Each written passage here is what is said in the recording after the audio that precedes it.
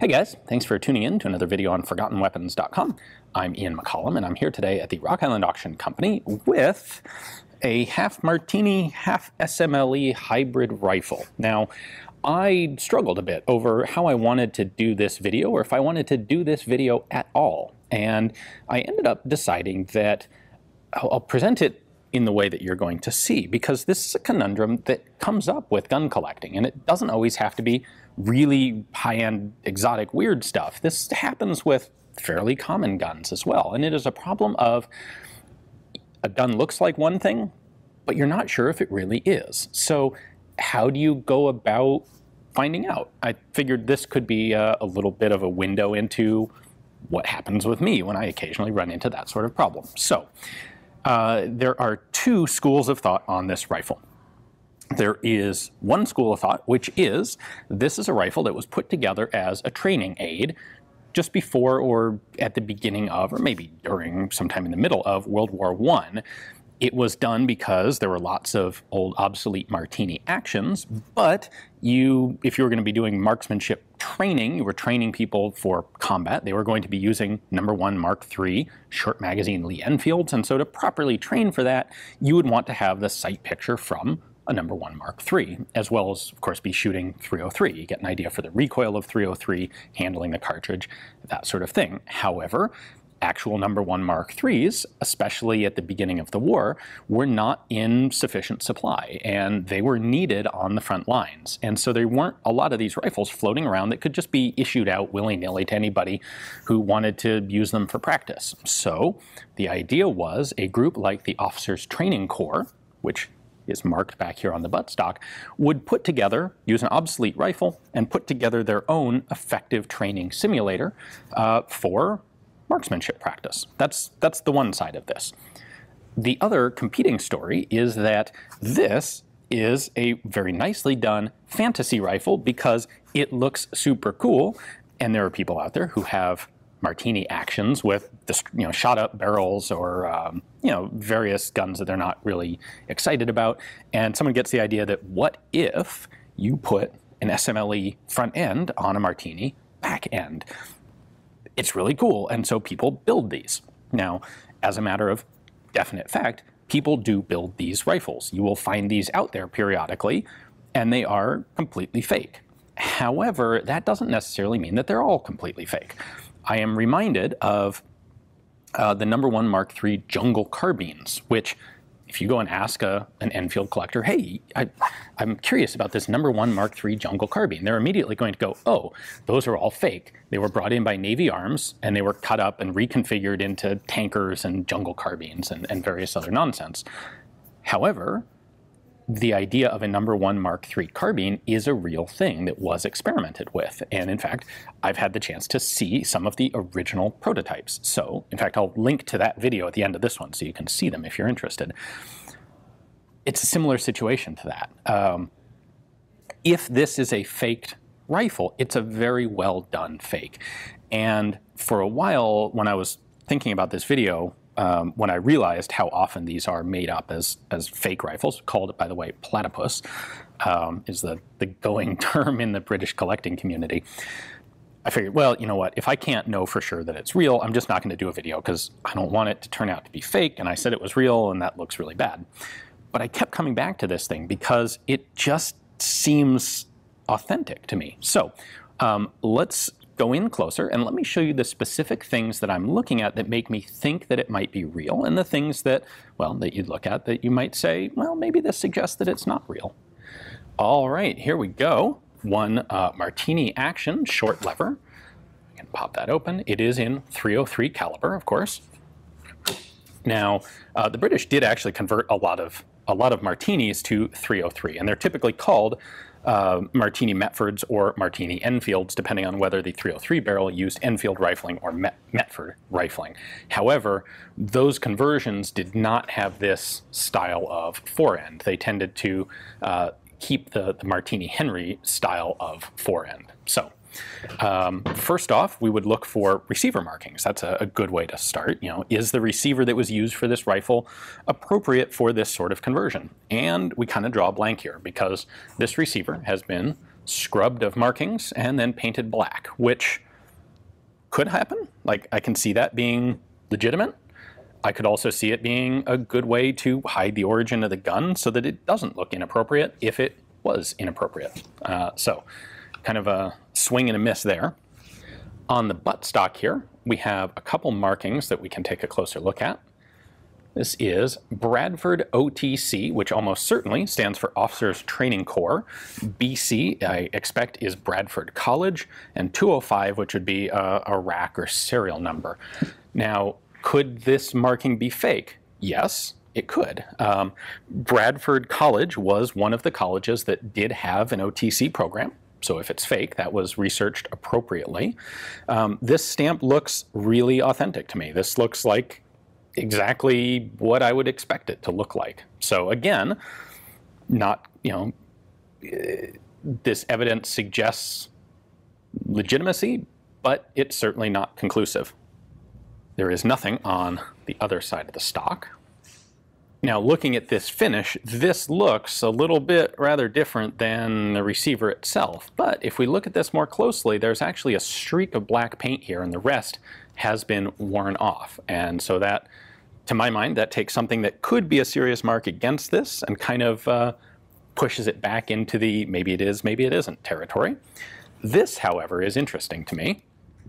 This is the sort of lead seal that's used to put on a hang tag. And this is something that I see in older sorts of collections, especially official collections this sort of twine string and lead seal, there used to be a hang tag on here that said something, and it's you can see it's frayed off and broken.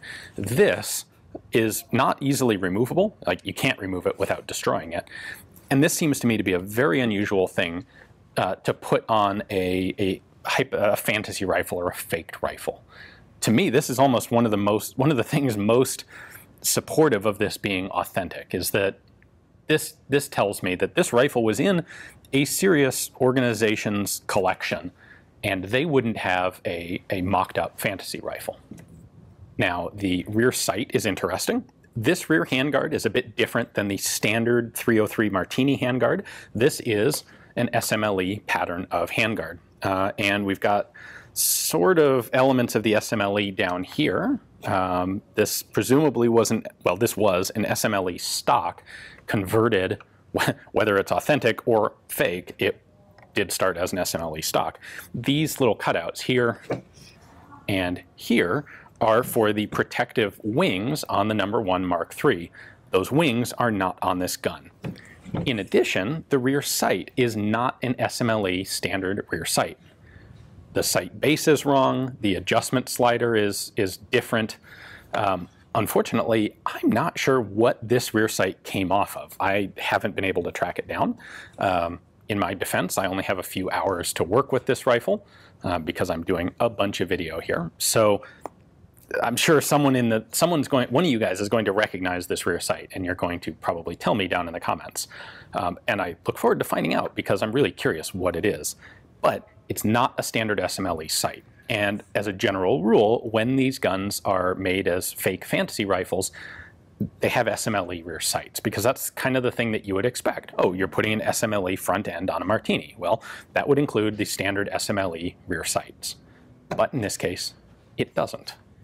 The nose cap is authentic SMLE, as best I can tell. Now it's an early one. It's uh, Mark 1, or a number 1 Mark 1 instead of a Mark 3. The, uh, the, the shaping is a bit different on these. Uh, but that is, that's definitely an SMLE nose cap on there. As for markings, we don't have any substantial markings except for the what's on the wooden stock. Um, we do have one little proof mark here, and then I'm going to go ahead and take the furniture off so we can see the what's on the barrel. All right, what we have here is another proof, 303, nitro proved, and then these two little guys on the bottom of the barrel. Now, I know a lot of people like to think that I know everything there is to know, but I do not know my British proof marks well enough to identify if any of these proof marks uh, would precisely specify a time period when this might have been made. Uh, you know, hypothetically, a time period that could either support or disprove the idea that it was done uh, you know, right at the beginning of or just before World War One. Well, we've got the furniture off. Here's the rear sight in its mount. Right there. There's our front sight. It's the inside of the wood handguard.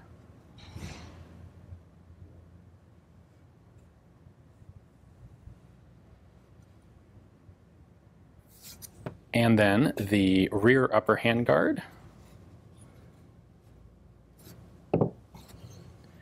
And the front upper handguard.